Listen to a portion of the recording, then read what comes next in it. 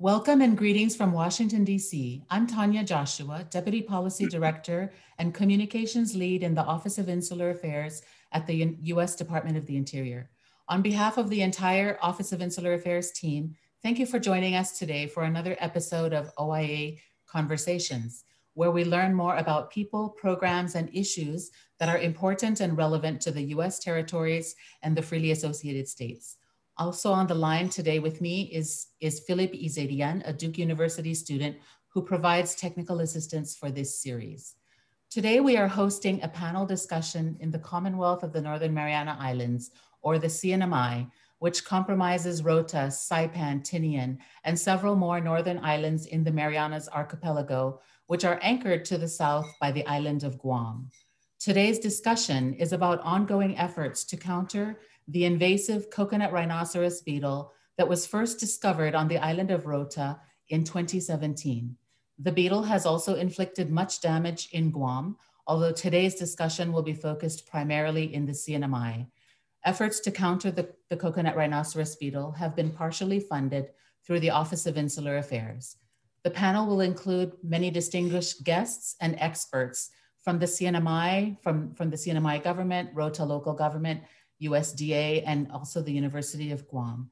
And before we begin, we would like to recognize the Mayor of Rota, the Honorable Efraim Atalig, and extend our special appreciation for his participation today. I now turn the floor over to Mr. Harry Blanco, Field Representative for the Office of Insular Affairs. He himself is based in the CNMI to moder moderate today's panel. Mr. Blanco? Good morning, Janafada, everyone. Um, thank you again, Tanya, for your introductory uh, of this uh, coconut rhino beetle. At this point in time, I'd like to introduce the, the presenters for the coconut rhino beetle. Uh, we got the Honorable Mayor Efraim Atalig, the uh, mayor for the municipality of Rota. We got Dr. Aubrey Moore, who is the professor of entomology, natural and applied science at the University of Guam. We got uh, Mr. Tony Benavente, secretary for the CNMI Department of uh, Lands and Natural Resources. We got Mr. Dave Calvo, Resident Director, CNMI Department of Lands and Natural Resources uh, located on Rota. We got Mr. Frank Aldan, Invasive Species uh, Coordinator, CNMI Department of Lands and Natural Resources located on Saipan. Mr. Mark Manglona, Coconut Rhino Beetle Supervisor, CNMI Department of Lands and Natural uh, Resources located on Rota. And then I also like to introduce the Coconut Rhino Beetle uh, staff members. Uh, again, Mr. Mark uh, Manglona is the Coconut Rhino Beetle supervisor. Uh, we got uh, Mr. Bruce Castro, the Eradicate Technician one. Uh, we got Mr. Samson Lizama, Eradicate Technician uh, one. And we also, um, the new hired staff members that were hired under this Office of Insular Affairs most recently funded grant is Mr. Iverson Isarian, Eradicate Technician one uh, Mr. Galen Crisostomo, Eradicate Technician 1, Mr. Rafael Quitugua, Eradicate Technician 1, and Mr. Donnell Rangamar, Eradicate Technician 1. Those are the uh, hardworking staff that's actually out in the field. At this point in time, I'm gonna turn it over to uh, Secretary Tony Benavente. Uh, I got some questions to ask uh, Mr. Benavente. So Secretary, uh, here's the first question. What specifically is the CNMI Department of Lands and Natural Resources doing to eradicate the coconut rhino beetle? Can it be eradicated? Good morning from Saipan. First of all, Harry, I didn't hear you recognize my good friend in Guam, uh, Mr. D. Dallas. You did? Maybe I didn't hear good, but anyway. Yes, that, thank you, Yeah. But anyway, uh, you know, thank you all, Tanya in DC, and our good uh, field representative, Harry Blanco here in Saipan, and to the people in Rota, uh, especially the mayor. Good morning, Mayor. Dave, uh, resident director, and the CRB crews in, in Rota and as well. Dr. Moore, uh, hi, nice to meet you, sir. I think it's my first time to ever see you, and again, to our good new uh, staff uh, from the OIA. Yes, uh, Harry, I know you mentioned something that what, what DLNR is, is doing. First of all, DLNR is doing so much uh, to eradicate this, this, uh, this problem of uh, CRB here in, in Rota. and also doing um, protection in terms of our intervention and protection for island of Ro- Saipan and Tinia. Just like to say that you know, thank you so much, no Department of Interior, OIA office for providing all these fundings. Without your, you know, your support on this funding, this will never be a successful operation. And believe me, for all the funding you've been doing since 2017, when we first detected the CRB in Rota, so much funding uh, that came on the first year, second year, and and continue on. And we're truly grateful for, the, for this new funding opportunity that gives us the, the equipments we need, the manpower, and all the resources that we can move forward to try our best to eradicate. Uh, so much of this is is getting to be a point where hardship is is now spreading. And we want to try and you know reduce it more or control it as well.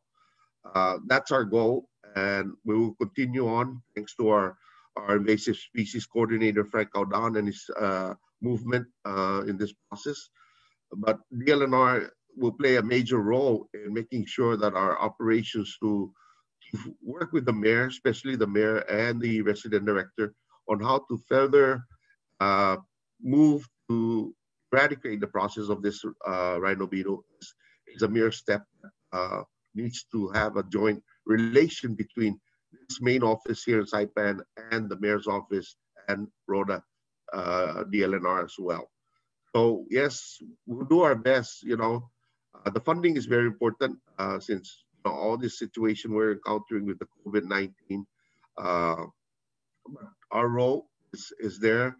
Um, the, the success uh, we can say is, is looking forward, uh, looking progressively to the point where a lot of the boys, the, the team are doing their very best to that netting and to spread out to where the additional areas that might has been detected. Uh, they, they will they will eventually move forward. And uh, again, uh, that will be more in the sense that they'll that knowledge to inform us if there is any more spreading and if they're still in that process of just being on that particular area i know that it has moved from the original location from the Tewksbury uh, Beach Park to the conservation area, uh, the old Paupo Hotel, and now it is now on the east area of uh, Rota, which is at uh, Ponia Point, and with a lot of private farmers within those areas that the CRB has detected. So we are uh, working hand in hand with the mayor, uh, the DLNR residents uh, director, and the CRB team, and as well of our, our invasive species coordinator to, to further our, our eradication process. And without that, uh, thank you also uh, for all that funding you've been providing. Uh, thank you, Harry. Thank you, Secretary Benavente. Um, my apologies for not introducing um, Mr. Dallas Berringer. Uh, he's the officer in charge for the plant protection and quarantine at the U.S. Uh, Department of Agriculture. Mr. Uh, Berringer, thank you, and apologies for not introducing. Okay, the next question again is directed to uh, Secretary Benavente. Um, what are your needs to make this protect uh, project successful? Meaning eradicate the coconut rhino beetle and or eliminate the threat of uh, to Rota and the CNMI. Well, thank you again, Harry. You know, that's that's a question that's uh, in terms of how how we're gonna eradicate. Eradicate right now is is more in, in the sense of our movement, but uh, it's it's there in Rota. Be truthful about it, it's it's there, and we can say it's it's spreading a little, not to the major point of of extending, but maybe Typhoon uh, uh, was the one that who spread it out to the east area, you know, with the rotation of the wind and during all that time because that, that was a major typhoon that, that hit Rota. And how it went to that particular area is a good question. Be it that it came in from, from a vessel that went to the east dock, we, we really don't know. But uh, the process is, is there in our goal uh, with with uh, the again the, the good people of Rota, the mayor and the staff. One one aspect that we, we want to be really strict in making sure that we don't uh, spread this out to all the other islands is to do a tougher uh, protection between our borderline. And one, one is to all outgoing, uh, be it that we, we monitor any incoming or outgoing, that we can work with the mayor and the quarantine section or the customs to really inspect, uh, inform, you know, those passengers leaving road that, you know, to make sure that their stuff or cargo or whatever it is is well inspected and make sure that, you know, they're cleared. Because if that's not done, then we have to to do our role here in Saipan or as well in Tinian and making sure all of this area, all of these incomings are open and checked because you know we want to prevent this from coming into our island.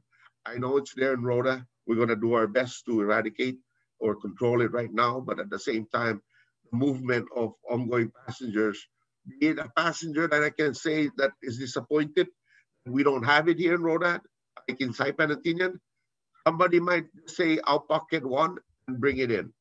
So our goal, honestly, is is hopefully that doesn't happen. But you know, the, the intervention and prevention is, a, a, risk that I'm working right now with the Attorney General's office to see if we can establish a policy and do what kind of protection that we, we want to do within our, our commuter. I don't want to be uh, a, a, problematic with our, our good people of Island, uh, but again, we want to make sure that you know it doesn't spread out because once it's reached here, then it's a closer. Eventually, that goes to the other islands, which goes up north. I know it's there in Guam for for 10 years, and then eventually it stepped into Rota. The next closest island is Tinian, then Saipan, and then further up north. So you know we'll try our best uh, to work, and if that policy ever comes up uh, with the Attorney General's new opinion, and we will, will enforce our quarantine staff to make sure that protection is provided within our, our borders, you know, of, of uh, Saipan and Tinian. So we, we want to prevent that and uh, we look forward to, to continue that. But again, uh, our major role is more or less to, uh, eradicating it and hopefully that the success will come through a reality uh, in the near future. Thank you. Thank you, uh, Secretary Benavente. Next uh, question is for uh, Mr. Franco Aldan, uh, the invasive uh, species coordinator. Uh, first question, Mr. Aldan, is what size staff do you have to handle invasive species across the CNMI? And what other invasive species do you have other than the coconut rhino beetle? Thank you, Harry. And uh, just welcome everyone to the guest or doing this morning. Anyway, uh, the invasive species uh, program in the CNMI has a staff, total staff of about uh, 10, 10 uh, employees, and they're all fully funded by the Department of Interior. We have uh, seven in Rota, and then plus one volunteer from the mayor's office in, in Rota. We have one supervisor and six uh, in uh, what's this uh, CRB uh, eradication uh, uh, technician. And then we have two in Saipan, which is under the Makuna Province Eradication Project, which is a, a non-native invasive species that we're trying to remove from the island of Saipan. Thank you. Thank you, Mr. Aldan. Um, the next question I have for you is, uh, are there any coordination efforts between the CNMI government and other local and fe or federal organizations? Yes, thank you, Harry. Uh, yes, we do work with the United States Department of Agriculture out of Guam, Mr. Dallas uh, Berringer. We do work with uh, the University of Guam. Uh, we also work with and collaborate with the Regional Invasive Species uh, Council, which uh, includes, uh, you know, all the Micronesian islands, the island of Guam, and Hawaii. And, and because we don't have a scientific personnel on our staff in the CNMI, we always refer and uh, discuss our, our CRB problems with you know, our, our regional partners so that we can get input from them on how to what's this apply science to, to our ongoing uh, uh, projects. Thank you. Thank you, Mr. Aldan. I really appreciate your response on that. Uh, the next uh, question is for the Honorable Mayor Efraim Atalig, uh, Mayor of Rota. Mayor, thank you again for joining us today. Um, first question for you is how important is the Coconut Rhino Beetle project for the people of Rota? Uh, thank you, Harry, and uh, to all of the uh, participants, uh, good morning, and thank you for the opportunity. This particular uh, threat is really serious economically and culturally. As you know, the uh, tree, um, the, the, coconut tree, I call it a tree of life because it deals directly to our culture and of course the economic impact. So um, it, it is very important that we we um, control.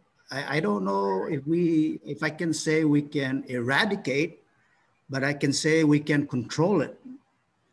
Um, eradication is erasing it, which I feel I don't think we have the ability to do so. But I must thank all of the, um, especially uh, OIA staff.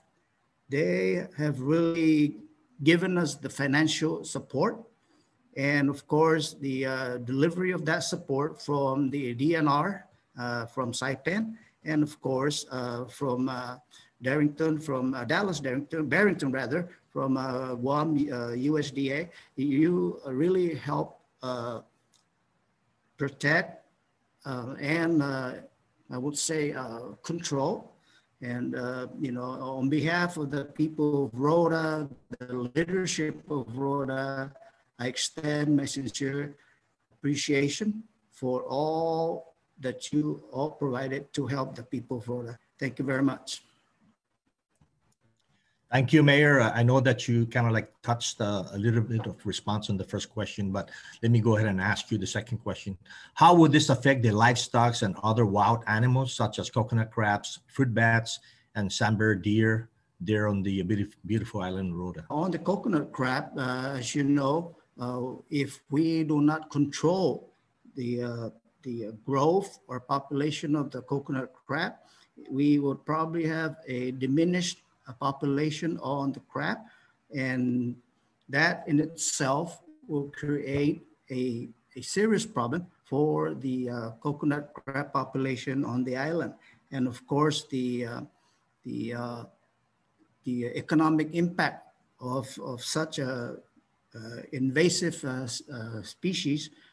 so it's really a a problem for us. And I, I, I hope that this uh, particular problem does not extend to our uh, friends and relatives to the island of Tinian and Saipan. So I, I asked the Interior Department to really uh, focus on the control of such invasive uh, species. And, uh, and again, thank you for all of you. Uh, I would especially thank the the uh, men with the uh, boots on the ground, because as you, as we all know, that logistically it is really the the the men on the on the ground that are really really um, supporting and uh, helping uh, for for for the control of the MVCs. Um, you know, uh, we all of us here are really uh, supporting, but the men on the ground are really really to be thankful thankful for. Thank you, Mayor Sejus Masha again. Uh, next uh, question will be directed to Mr. Dave Calvo, the resident director for the CNMI Department of Lands and Natural Resources in Rota. And I know Dave has been working very hard in supporting this project. Uh, Mr. Director, I mean Director, uh, when was the first time you noticed that the coconut rhino beetle existed on the island of Rota? Yeah, good, good morning, everyone. And uh, half a day from the beautiful island of Rota. Uh, yes, uh,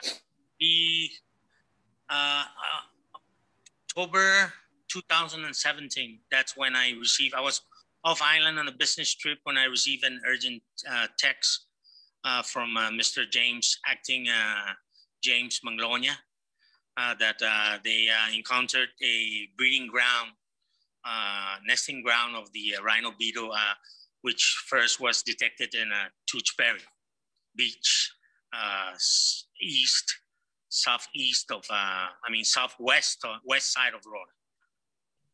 That's when they uh, went down and start, we start, the department start, our, all of our staff uh, went down and we start clearing the area. And then from then we continue to find more breeding ground and uh, more damage of the uh, coconut trees in that uh, uh, in that beach uh, site. Thank you. Thank you, Mr. Calvo. Uh, the next question I have for you is, uh, how did the people of Rota respond to this situation? Uh, the people of Rota, we, as I, to my personal opinion, we caught, we got caught off guard and, and surprised with this impact. But the people of Rota are willing, and uh, and as a matter of fact, while we were clearing and and and clearing a, a Tewksbury, some of our local residents uh, were surprised, and at the same time, so a few of them volunteer in helping us uh, clear the area and support us. But uh, let me touch a little with uh, uh, I with USDA when they heard USDA team from Guam, Dallas, Ben Kichuchu, and Troy Brown, uh, visited the island and, and uh, put their uh, boots in the ground, assist us too in uh, finding more uh, breeding ground and, and help us uh, detect which coconut tree has been damaged by this invasive species, rhinoceros beetle. without them, and at the same time, with the funding from Department of OIA, we managed to send a few uh, five individuals from our department to be trained at University of Guam with the assistance of uh, Aubrey Moore and uh, uh Roland Quitugua in, in detecting and, and, and knowing more about the, uh, the cycle of this uh, invasive species. But for the, the question is, the people of Rota was surprised and they were all willing to participate and assist us uh, in, in, in eradicating this uh, uh, endangered, I mean, invasive species, a buck. Thank you. Thank, thank you, Director Calvo.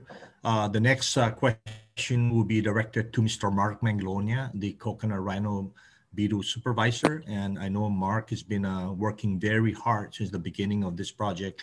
Uh, Mr. Manglona, uh, here's the first qu question. Can you talk about when this species got to Rota as well as other infected areas?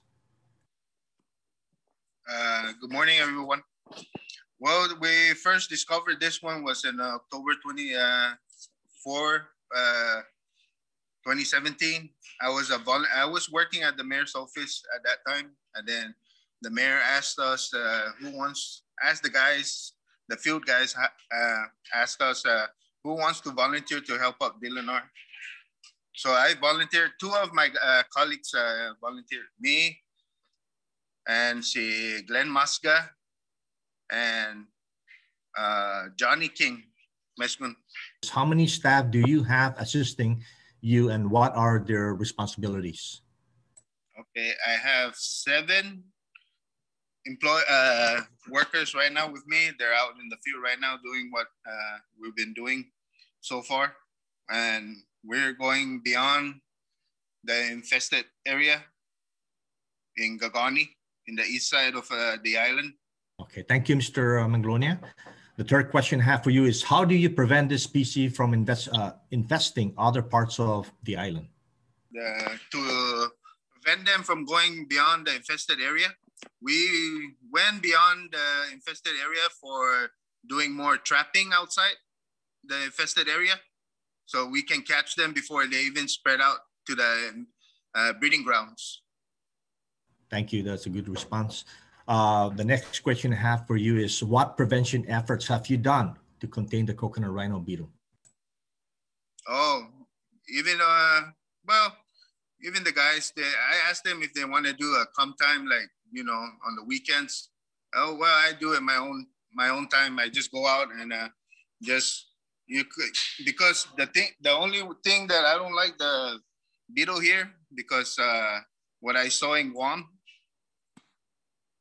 the first time I saw the rhino beetle in Guam, I was like, you know what? I don't like this species here in the island of Rota.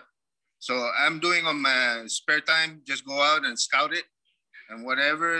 Because I discovered the one in uh, Gagani when I went out to do a survey. I found out that Gagani has an infested area there. So that's how I discovered it in September 13, 2020. Thank you, uh, Mr. Manglona. Again, the final question here is how many coconut rhino beetle thus far have you caught or collected since Collect the beginning? Since uh, 2017 is 3,000. Thank you. That's a lot. Uh, all right. The next, uh, oh, sorry, go ahead. Yeah, because uh, only in 2020 got, we caught a lot.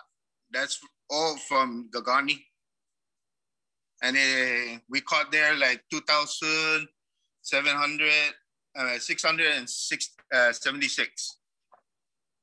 just from Gagani in 2020. Okay, wow, that's a lot. okay, the, the next question is directed to uh, Mr. Dallas Berringer, the officer in charge for the plant protection and quarantine at U.S. Department of Agriculture. Dallas, the first question I have for you is what is USDA doing to assist with the eradication of this species, equipment-wise, staffing, etc.? Oh, thank you, Harry. Uh, before I get started, I just wanted to thank uh, Mr. Mayor and Mr. Secretary for their kind words and note that we've had a close collaboration for many years. Uh, USDA plant protection quarantine deals with uh, invertebrate quarantine issues of invasive species and pests not known to occur. So uh, we got involved with this very immediately after the discovery in October. And uh, for us to be able to participate in an eradication program, one of the first things we needed to do was obtain an authoritative ID. So we sent that through our, our uh, network for an APHIS identification, which confirmed it was in fact CRB and it was the same biotype as Guam. And that opened up the ability to provide some immediate funding. Uh, so that came actually in fiscal year 2018 funding and uh, from a letter of approval from our deputy administrator with some additional funding support from our state plant health director office in Hawaii. Uh, we also, besides the, the funding, which was used to purchase some heavier equipment like a lifter to get up to the coconut crowns to do the trimming, uh, sprayers to apply uh, treatments, and hand tools, chainsaws, uh, rakes, uh, all that stuff that goes along with clearing out the, the breeding sites and things. Uh, and also the trapping supplies and materials uh, to survey and trap for eradication as well. Uh, in addition to that, we were able to obtain some surplus uh, solar lights from the military, and uh, we had 10 sets of solar lights that are also helpful in attractant to the trapping areas in eradication zone and, and keeping the beetles from moving offsite into new areas, hopefully. Uh, so we we also provided some on-ground uh, experience uh, with advice and training to the the people getting started, Mark and his crew, uh, a great crew, and we created a database for them to maintain uh, all the records of the breeding sites, the trap catches, which allowed uh, doing reports, analysis, and mapping locations that could be displayed uh, on things such as Google Maps. Uh, in addition to that, we've been active in developing procedures uh, using drone technology, unmanned aircraft. And we've been flying repeatable autonomous drone flights on uh, the difficult areas for people to walk. Uh, basically, uh, we set up a procedure where we can fly the same trees, take photographs, and be able to identify whether or not there's any spread on Wedding Cake Mountain. Uh, then just beyond the immediate rota, uh, USDA was able to provide some funding uh, through the Farm Bill to continue or perform surveys on Saipan and Tinian uh, and help uh, prepare for or have early detection. And that's, that's pretty much uh, a quick summary of what we've been involved with and uh, continue to support CNMI in their efforts for invasive species. Thank you, Mr. Berringer, and I appreciate all your help there with uh, U.S. Department of uh, Agriculture and looking forward to seeing you uh, next time I go to Rota. Uh, the next question is directed to Dr. Aubrey Moore, Professor of Entomology, Natural and Applied Science at the University of Guam. I know Dr. Moore has been uh, working very hard in doing the study of the coconut rhino beetle and uh, wanted to hear uh, his presentation today. Dr. Moore, thank you again for joining us this morning. First question to you is, can you talk about the life cycle of the invasive species, its target food? How long do they live? How much grub can they produce? And of course, everything that we can hear about this coconut rhino beetle, the size and whatnot. Thank you. Thanks, Harry. I have a lot of fond memories of CNMI. Uh, I actually worked up there in the 90s for eight years. I was recruited by DLNR um, to go and do a melon fly eradication program. Uh, and then I, I, moved over to the college. I worked at the Northern Marianas College for years. Uh, it's been a long time since I've been to Rota, unfortunately. Uh, I've been on, on uh, back here on Guam for almost 20 years, and I've only been up there about three times. Hope to get back up there soon. Now I've got a good excuse. This is the life cycle of the coconut rhinoceros beetle. And uh, this, this will be old news for a lot of you people, but it's important to, to um, repeat some of the aspects here. Okay, so the rhino beetle uh, has four life stages, like most advanced insects, eggs, pupae, eggs, larvae, pupae, and adults. The, the larval stage is uh, divided into three substages, small, medium, and large, or if you want to get real fancy, first instar, second instar, and third instar. The whole life cycle takes about nine months, and the adults can live uh, further four or five months. So there is a little bit of generation overlap.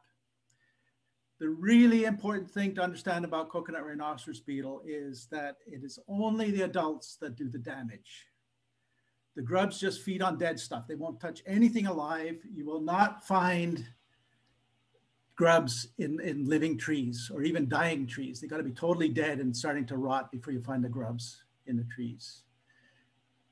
Okay, so the adults do the damage when they bore into the crown of the tree.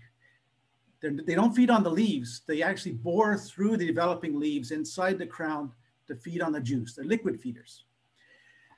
So they'll stay inside there for three or four days, sucking up the juice, and then they'll come out through the same hole and fly away and go and find breeding sites, uh, mate, and if they're females, they'll start laying eggs. A few weeks later, they'll get hungry and they'll do the same thing. So they feed about four or five times during their adult life cycle.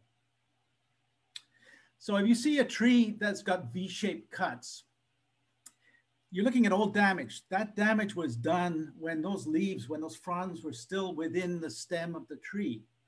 And it takes two or three months before they come out and then you see the very distinctive V-shaped cut. Uh, so chances are, if you see a tree with even lots and lots of V-shaped cuts, there are no beetles in there. A lot of people make the mistake that this is an infested tree, we got to cut it down. That is probably the worst thing you can do because when you kill the tree, you're making food for the grubs. Not just the stem that you cut down, but also the stuff that's left underground, all the roots and all that stuff. Okay.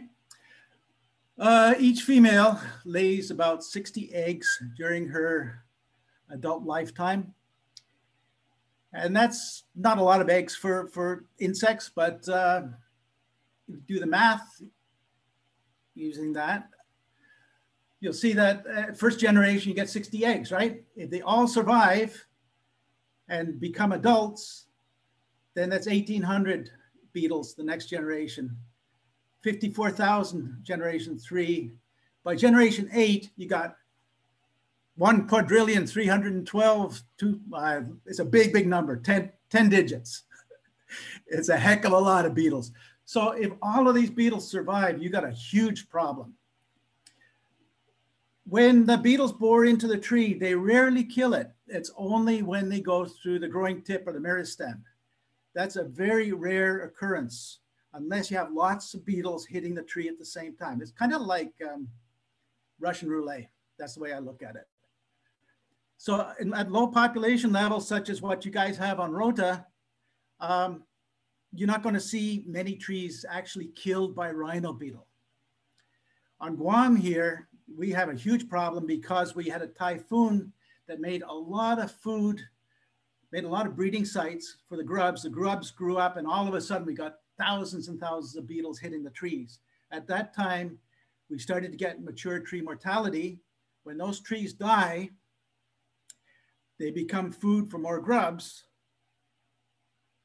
More grubs become more adults and hit even more trees. So right now on Guam, it's a really bad feedback cycle. We got so many beetles, they're killing the trees, making more food for more beetles.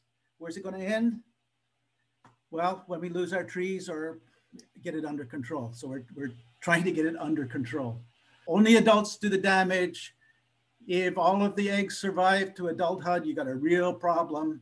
So you got to hit the breeding sites. You got to find all of the breeding sites and destroy them. And Rota seems to be doing a really good job at, at doing that at present. Uh, you got to hold the line. And we'll talk about control a little later on. So back to you, Harry. Thank you, Dr. Moore. Uh, the next question I have for you is, do you think it's possible to completely eradicate the coconut rhino beetle in Rota? That's the $64 million question. Unfortunately, um, I won't say it's impossible, but it's highly improbable that we'll be able to get to eradicate the rhino beetle from Rota. And I'll tell you why I think that. Um, historically, rhino beetle has only been eradicated once. It's been attempted many times. Uh, when it was eradicated was on a very small island, an outer island of Tonga called Keppel Island.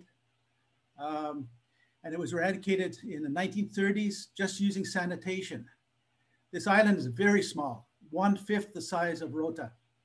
And the way they got rid of it was um, the, the chief gave the project director permission to use as much manpower as he required. And they scoured the island, destroyed all of the breeding sites and potential breeding sites, and it was eradicated. Took seven years. Wasn't easy. So historically, there isn't much support um, for eradication on Rota. Uh, I, I kind of doubt it, unless uh, there are some technical breakthroughs. With some insects, there, there are ways of eradicating fruit flies. We, we know how to eradicate fruit flies. In fact, Rota is quite famous because uh, USDA back in the 60s did a lot of experiments on Rota and they eradicated two species of fruit flies, the melon fly and oriental fruit fly. Oriental fruit fly has never come back in. Unfortunately, melon fly came back in from uh, Guam Okay, the other thing you have to do for eradication is got to make sure it's not coming back in, right? Uh, this is very hard with rhino beetle, especially with Guam being just to the south of the CNMI. We've got a huge population here. The risk of accidental transport up to the CNMI is, is very high. Uh, as you know, Honolulu got the rhino beetle. It's the same biotype as Guam, so they're pointing fingers at us. It probably did come from Guam. But if we cannot get the population under control here on Guam, it's going to spread to other islands in Micronesia. Oh, talking about uh, rhino beetle in Micronesia. Um, rhino beetle's been in Micronesia since before the Second World War. It was uh, resident on Palau. It's still there. Um, and then in the CNMI, we didn't get it on Guam first. It was actually discovered on Rota in 2006. A single individual was trapped at, in Tanapag at the cement factory. Uh, Dr. Jack trapped it and, and, did surveys for a whole year. Didn't see any other beetles. So Saipan was extremely lucky in that case. In 2007, uh, beetles were actually found on Saipan. It was uh, plant industry. Uh, the customs officers found it in a shipment of soil, packaged soil that came up from Guam. Uh, they were very astute in, in uh, dealing with it. They actually found beetles in the saran wrap around the packages of soil and grubs inside the soil. Do not transport soil between islands or within your island. That's a really, really high risk. Here on Guam, you can go to the local hardware store and pick up a bag of soil and it will be pre-populated with rhino beetle grubs. I'm pretty sure that's one reason it spread throughout Guam pretty quickly. Soil is a real high risk, but um, otherwise it's really hard to inspect for rhino beetle. The adults like to hide in dark places during the day and they'll crawl into anything that's, that's vacant, an empty container, maybe wheel wells of aircraft, holds of ships, that kind of thing. So they're not necessarily uh, connected to any commodity. They're really hard to, to look for, even though they're big, they're hard to intercept. Hey, Dr. Moore, thank you again. Okay, the final question I have for you is, can you talk a little bit about your current study of the coconut rhino beetle on the islands? So uh, right now I'm focused on finding a biological control for rhino beetle. Previously, we had this insect virus that was did a terrific job on rhino beetle problems. If you got rhino beetle on your island, you introduce some of this virus, it gets into the population and it knocks down the population very quickly. Here's a graph showing what happened in, uh, uh, where's this, uh, Fiji. The same thing has happened on many islands. Um, you introduce the virus into the population, it makes the, the beetles weak, they don't lay as many eggs, and the, the uh, damage goes away. The beetle is still there, but it's under control by this virus. And this virus stays in the population for many, many years, up to 50 years. So you introduce it once. It's not like a pesticide, like an insecticide. You introduce it once and it, it maintains itself in the population. That's what we're working towards. Unfortunately, we've discovered that the beetle we have on Guam is resistant to all of the isolates of virus that are available. By the way, this virus only attacks coconut rhinoceros beetle, no other species. Very, very safe. So uh, we discovered this biotype here on Guam. It's called CRBG, G for Guam. Uh, it didn't evolve here. It came in from somewhere else. We don't know where. We're not the only country or island group that's suffering from this problem. It's south of the equator. It's uh, killing the oil palm industry in Papua New Guinea. Rhino beetle also attacks oil palm.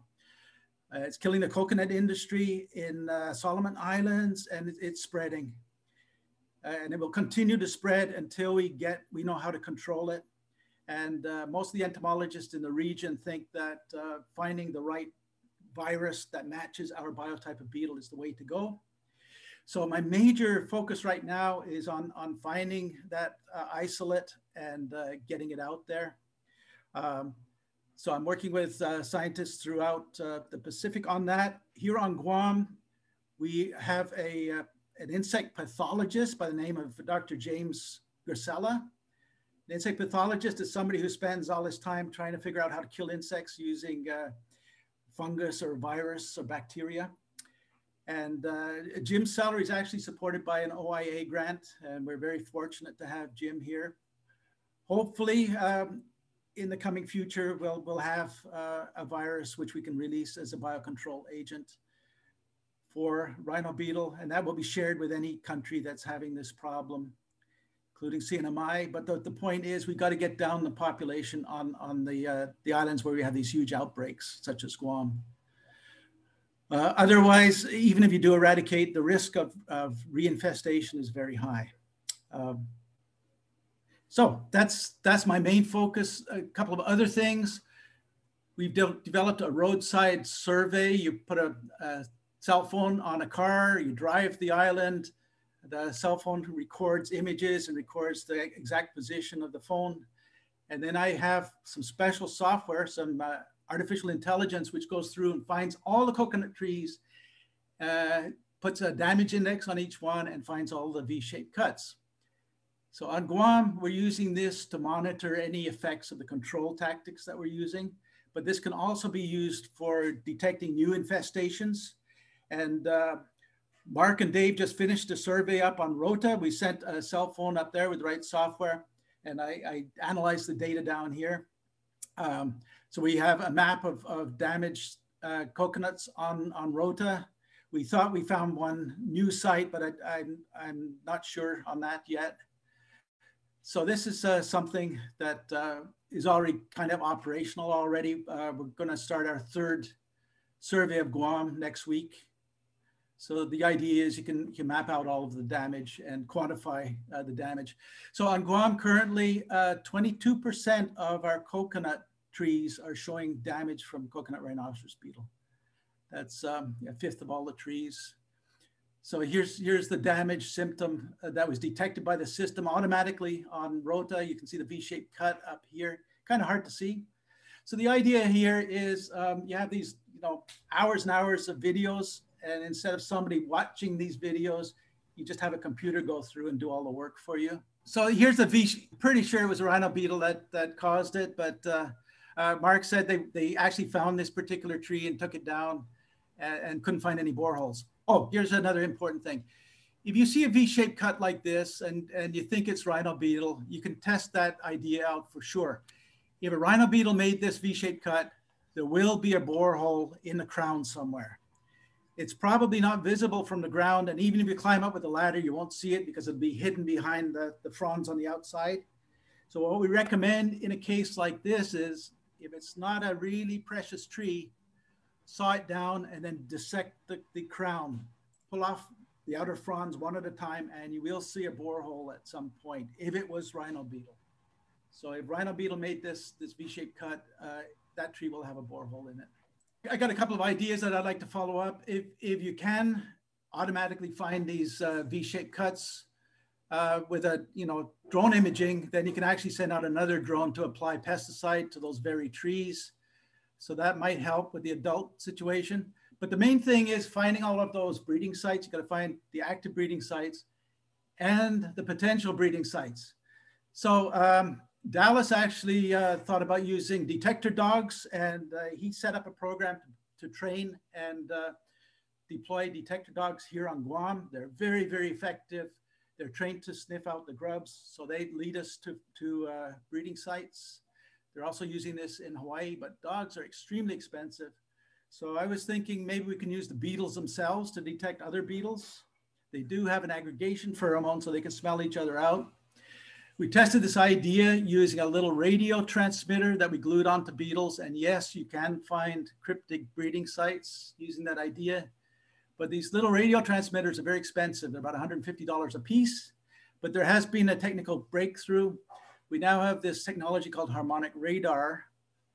And the tags for harmonic radar are smaller than a grain of salt, uh, sorry, a grain of rice.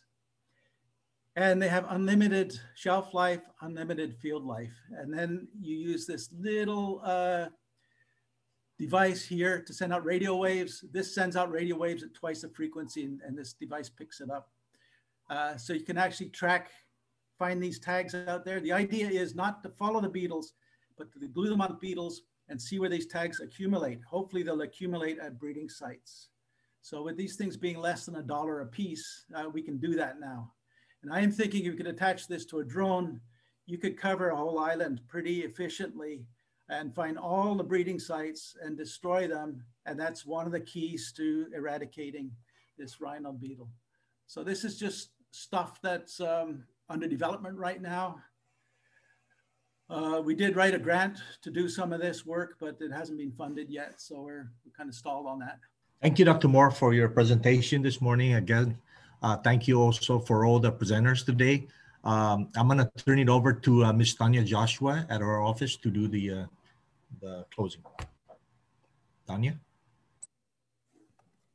Hi, I actually have one question. Can somebody describe for our listening audience, how big is the CRB? What is the size? It's a large insect. Around, around three inches uh, long. Thank you. That will definitely scare. Yeah. That will definitely scare our listening audience. On really behalf of scary, actually, uh, uh, some people keep them as pets, and that's a problem. Yes, as Dr. Moore said, I was actually stationed in Japan for a long time, and uh, Japanese do sell that as a pet. They put it in a, in a, a small aquarium with a jelly, and that's what they eat actually. And the little kids in Japan they use it to, you know, make them fight and, and whatnot. But yes, back to you. Uh, so on behalf of our leadership and colleagues at the Office of Insular Affairs, we uh, want to thank you for joining us today. I want to just make a special shout out to our federal partners, USDA. Thank you uh, for uh, being part of uh, this effort to combat the, the, the CRB in the CNMI. Uh, and also, um, I wanted to say that uh, I wanted to relay, we will be relaying to our leadership at OIA and also to our grant managers and policy team, all of the kind words that you have expressed uh, about the good work that our colleagues at, at OIA do uh, in be, on behalf of the CNMI and to counter the coconut rhinoceros beetle. Um, and so before I close again, uh, would uh, let's see, would the Mr. Mayor, would he be available to say a few words? And if, if he's not, uh, we wanna just express our appreciation for his joining us today. And maybe we would invite um, Mr. Secretary. Ah, the mayor is there. Thank you, Mr. Mayor. Uh, thank you, Tanya. And uh, I just wanted to uh, express, you know, my appreciation to uh, OIA, um, Mr. Dallas uh, Barrington, uh, Dr. Moore, and all of the individuals involved in helping the island of Rota so that we can control this um, invasive species not to enter the island of Tinian and Saipan because that would be very devastating to our islands. So like I said, on behalf of the people of Rota, the leadership here on the island of Rota, uh, we want to express our sincere appreciation for all the help we've been getting from you guys.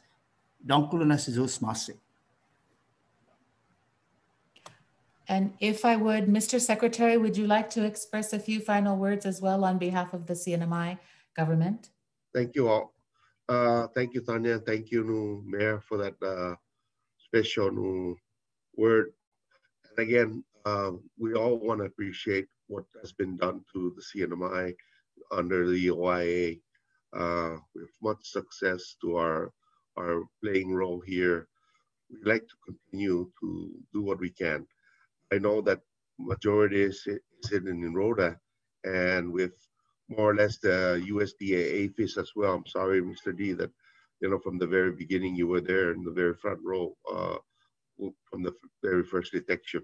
But again, it was more that uh, they provided us with more of the knowledge and skills that uh, and the continuous training that they, they did.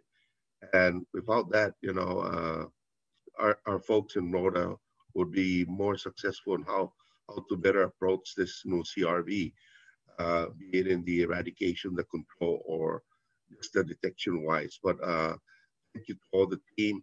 Thank you to our good new, good new representative, Harry Blanco, Thank you, Dr. Moore.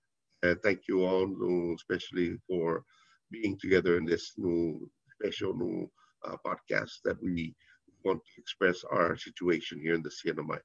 So on behalf of the DLNR Saipan, thank you so much to everybody.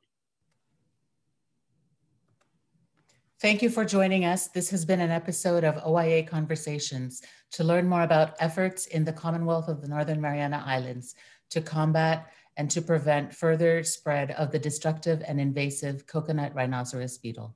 Thank you very much.